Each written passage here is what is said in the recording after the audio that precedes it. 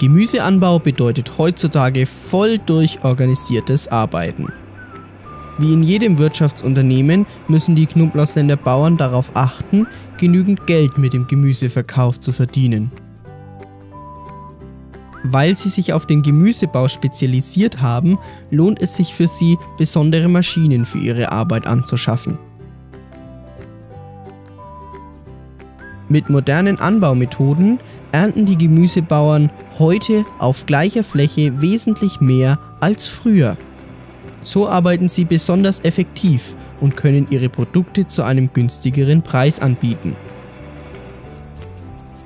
In der Theorie klingt das ja alles sehr schön, aber ich wollte mir das Ganze mal live ansehen. Deshalb bin ich ins Knoblauchsland gefahren und habe mir dort von den Gemüsebauern zeigen lassen, wie sie arbeiten. Wir stehen jetzt hier am Acker von Peter Höfler und lassen uns jetzt mal den Freilandanbau erklären. Und neben mir steht auch schon Peter. Servus, grüß Hallo. dich. Da hinten geht es jetzt schon ziemlich rund. Was machen die denn da jetzt eigentlich? Die pflanzen gerade Salat. Welche Sorte genau von? Das ist ein Endiviensalat, was die jetzt pflanzen. Und wo kommt diese Jungpflanze her? Ja, die kaufen wir vom Betrieb Bayer. Der ist auch hier im Knoblauchsland. Und der produziert für uns die Jungpflanze. Und wann erntet ihr immer? Wir fangen mit dem Anbau an, so Ende Februar, Anfang März. Und ab Anfang Mai wird dann geerntet. Und das eigentlich wöchentlich ziehen wir das die ganze Saison durch bis in November. Was sind jetzt die einzelnen Stationen, bis der Salat letztendlich geerntet werden kann? Ja, an, anfangen tut es eigentlich damit, dass man das Pflanzbeet vorbereitet. Da wird der Boden schön krümelig gemacht, dass die Pflanze schön anwachsen kann. Dabei wird äh, gleichzeitig die Spur gezogen, wo dann später die Pflanzmaschine drin läuft. Und natürlich gedüngt. Und das machen wir ja alles bedarfsgerecht. Bei unserer heutigen Technik teilweise mit Computer wird genau so viel gedüngt, wie der Salat auch wirklich braucht. Das kann man alles schön sauber einstellen. Ja, und dann geht es mit der Pflanzung los. Da werden die Pflanzen in einem schönen gleichmäßigen Abstand über so ein Band abgesetzt. Und dann dauert es vielleicht zwei, drei Wochen, bis die Pflanze richtig fest angewachsen ist. Da muss sie schön regelmäßig bewässert werden, damit der Topf nicht austrocknet und die Pflanze nicht schwelgt. Und dann müssen wir natürlich auch Pflanzenschutz betreiben. Da lassen wir uns dann von unserem Beraterring äh, unterstützend beraten. Und die informieren uns immer, wenn Schadschwellen überschritten worden sind, damit wir nicht unnötig spritzen, sondern nur, was gerade notwendig ist. Was sind Schadschwellen? Ja, der, der Berater schaut nach, wie viele Läuse zum Beispiel im Salat sitzen. Und wegen einer Laus brauche ich noch nicht spritzen. Aber er hat dann manchen Ecken mehrere gefunden und dann gibt er Warnhinweise an uns raus und sagt, Bauern, passt auf, die Läuse nehmen überhand, da müsst ihr was dagegen tun. Dann muss natürlich gegen das Unkraut was gemacht werden. Da wird mit einer Rollhacke der Boden zwischen den Kulturen aufgelockert und das Unkraut dabei kaputt gemacht. Und dann so nach vier, fünf, sechs Wochen, je nach Witterung, ist der Salat reif zur Ernte. Und danach müssen dann die Ernterückstände wieder eingearbeitet werden. Und dann kann das ganze Spiel wieder von vorne beginnen. Hätte ich ja gar nicht gedacht. Der Salat wird schon vor dem Pflanzen gedüngt. Und der Traktor hat einen Computer zum Dosieren des Düngers. Die Pflanzenschutzmittel werden erst dann ausgebracht, wenn der Ringberater Läuse und Co. auf dem Gemüse entdeckt. Salat gibt's im Knoblauchsland von März bis November. Ungefähr fünf Wochen nach dem Pflanzen ist er reif. Und dann wird die ganze Zeit durchgeerntet. Was ist denn jetzt das da für ein Rohr? Könnt ihr da Flüsterpost machen oder? Na, das dient der Bewässerung. Mit äh, den Rohren und mit den Kreisregnern bewässern wir die Freilandkulturen. Da ist alle 18 Meter Kreisregner montiert. Kreisregner heißt, der kann sich im Kreis drehen. Ja, genau, der wird über die Feder und über den Wasserdruck praktisch angetrieben. Können wir mal runter montieren? Kann ich? Kein Motor Nein. sozusagen. Über ein Stecksystem. Da ist eine Dichtung drin. Mhm. Wird er nur aufgesetzt, festdreht und der Wasserdruck bewegt den dann. Warum muss man eigentlich bewässern? Wir im Knoblauchsland, wir haben relativ leichte Sandböden. Siehst du hier? Und die speichern das Wasser nicht so gut wie Lehmböden. Deswegen müssen wir relativ oft bewässern, um die Pflanze gut zu versorgen. Und wo kommt das Wasser her? Aus der normalen Leitung oder? Nein, wir haben hier Speicherbecken, schau mal, da hinten. Da wird es zwischengespeichert. Aha, Aha, im Knoblauchsland läuft das Regenwasser also durch den lockeren Sandboden. Deshalb müssen die Bauern bewässern. Wenn die Pflanzen genügend Wasser haben, wachsen sie besser und bringen eine höhere Ernte.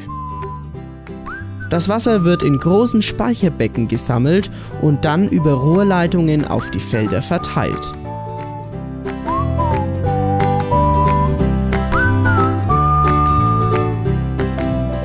Wie der Freilandanbau funktioniert, das haben wir uns ja schon angeschaut, aber einige Gemüsesorten werden auch im Gewächshaus angebaut und der Mann, der uns wahrscheinlich viel dazu erzählen kann, der steht neben mir, der Stefan Schatzer. Grüß dich Stefan. Hallo Felix.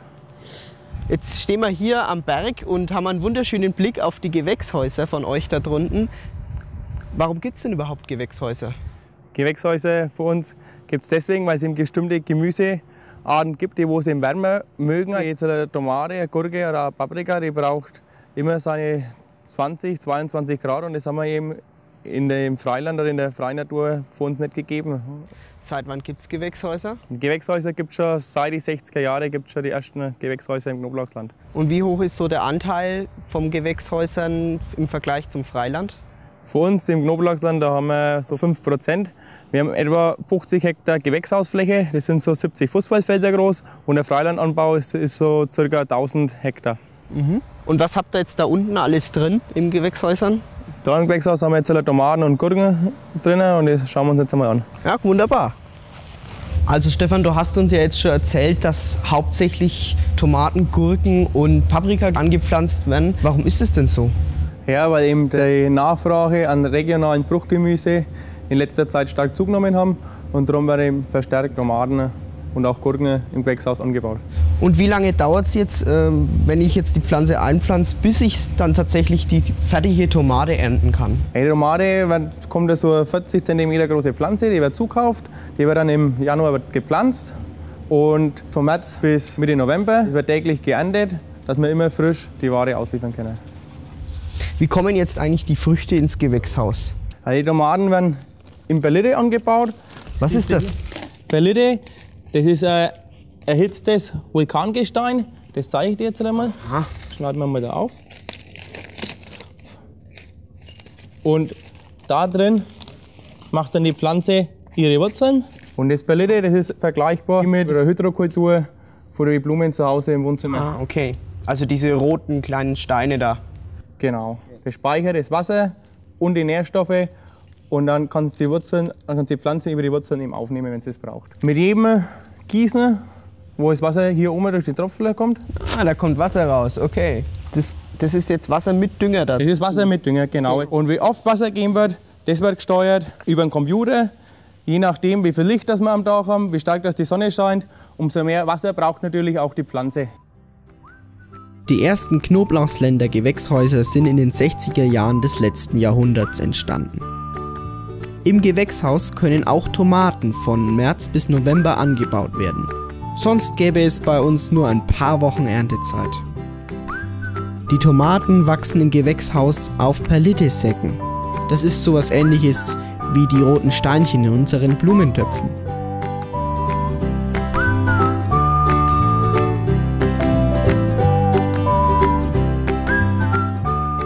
Jetzt haben wir schon einen konventionellen Betrieb gesehen und jetzt sind wir in einem Bio-Topfkräuterbetrieb. Hallo Rudi, grüß dich. Hi Felix, servus, schön, dass du da bist. Was heißt denn Bio jetzt in eurem Betrieb? Also Bio-Topfkräuteranbau bedeutet für uns Verzicht auf chemischen Pflanzenschutz, bedeutet für uns Nützlingseinsatz und bevor man eigentlich biologisch produziert, muss es erstmal im Kopf losgehen. Man muss bereit sein, das zu machen. Man muss auch bereit sein, Verluste einzustecken und dann auch die Zeit, den Mehraufwand zu opfern, um das zu machen.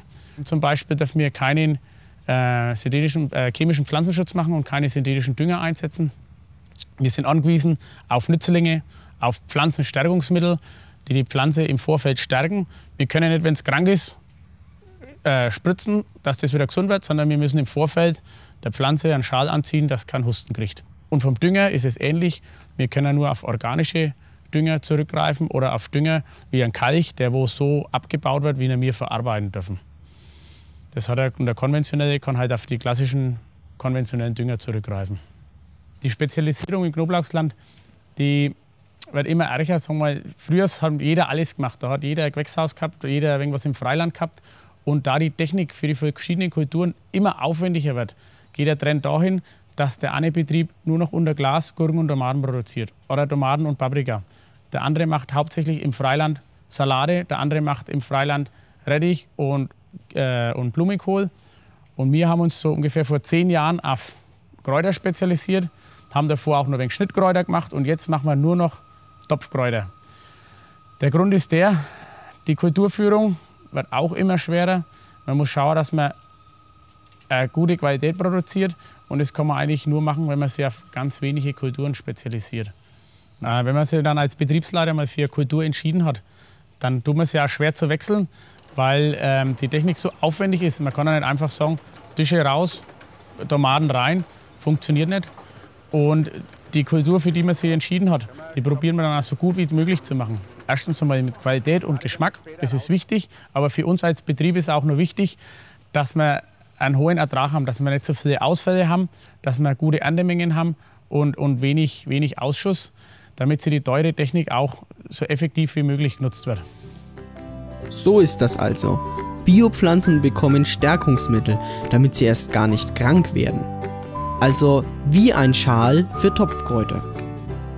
Für die gesamte Pflanzenbehandlung gibt es beim Biobetrieb nur Stoffe, die es auch in der Natur gibt. Aber deswegen sind Biobetriebe nicht von gestern. Auch sie steigern ihre Erträge mit speziellen Maschinen und modernen Anbaumethoden.